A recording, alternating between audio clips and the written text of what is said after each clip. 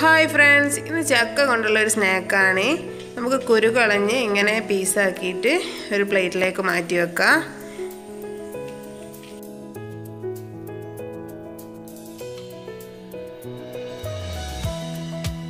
അങ്ങനെ നമ്മൾ എല്ലാ ചക്കയും ഇങ്ങനെ കുരു കളഞ്ഞിട്ട് വെച്ചിട്ടുണ്ട്. ഇനി ഒരു പാത്രം എടുത്തിട്ടുണ്ട്. അതിലേക്ക് നമുക്ക് ഒരു അഞ്ച് ടേബിൾ സ്പൂൺ മൈദയും രണ്ട് ടേബിൾ സ്പൂൺ കോൺഫ്ലവറും ഇട്ട് മിക്സ് ചെയ്യുക അതിനുശേഷം നമുക്കതിലേക്ക് ഒരു അര ടീസ്പൂൺ മഞ്ഞൾപ്പൊടി ആഡ് ചെയ്യാം. പിന്നെ ഒരു അര ടീസ്പൂൺ കരിഞ്ജീരകവും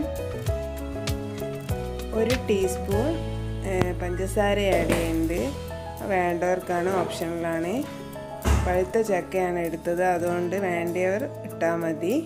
പിന്നെ ഒരു നുള്ള ഉപ്പും.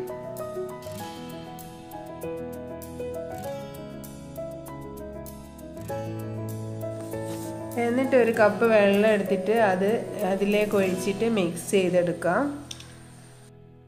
അത്യാവശ്യം മധുരമുള്ള ചക്കയാണ് എടുത്തത്. അതുകൊണ്ട് ഞാൻ പഞ്ചസാര ആഡ് ചെയ്യണമെന്നില്ല എന്ന് പറഞ്ഞത്.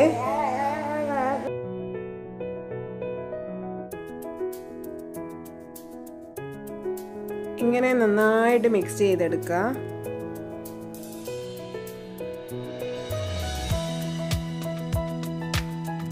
പഴം പൊരിക്കാൻ മാവ് കൂട്ടുന്നത് പോലെ അതിന് ലേശം ഒന്നുകൂടെ ടൈറ്റ് ആയിട്ടാണ് ലേശം കൂടെ ഒന്ന് ടൈറ്റ് ആയിട്ടാണ് ഞാൻ മാവ് കൂട്ടിയത്. ഈ പരുവത്തിലാക്കിയിട്ട് ഇനി നമുക്ക് പീസാക്കി വെച്ചിട്ടുള്ള ഇത് ചക്ക ഇതിലേക്കിട്ട് പൊരിച്ചെടുക്കാം. അത് ഞാനൊരു ചീനിച്ചട്ട് അടുപ്പിൽ വെച്ചിട്ടുണ്ട്.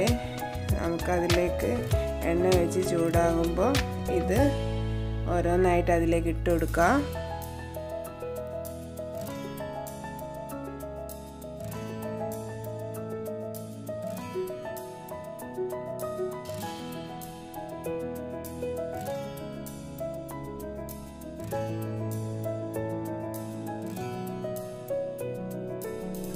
ഇങ്ങനെ ഓരോന്നായിട്ട് ഇട്ട് കൊടുക്കുക നല്ല ക്രിസ്പി ആയിട്ടുള്ളൊരു സ്നാക്കാണ്.